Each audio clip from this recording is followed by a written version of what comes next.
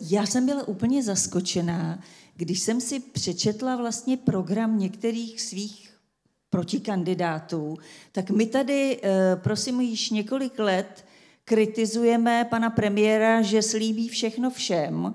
A já jsem zjistila, že moji protikandidáti dělají to tež.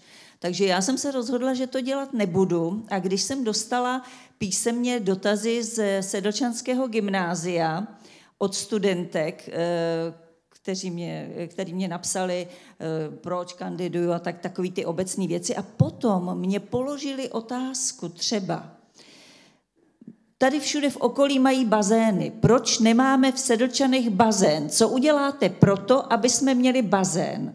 A moje odpověď zněla, milé studentky, kdybych byla potvora, tak vám napíšu, že tam máte již druhé volební období svého senátora a nic vám pro ten bazén neudělal. Ale upřímně řečeno, pan senátor nemůže. To není v jeho kompetenci. Ale pan senátor, váš pan senátor, sedí v obecním zastupitelstvu a tam běžte a tam si kontrolujte, pro co zvedá ruku. Další takový dotaz, velmi zajímavý, byl, kdy jim spravím silnice ve středočeském kraji.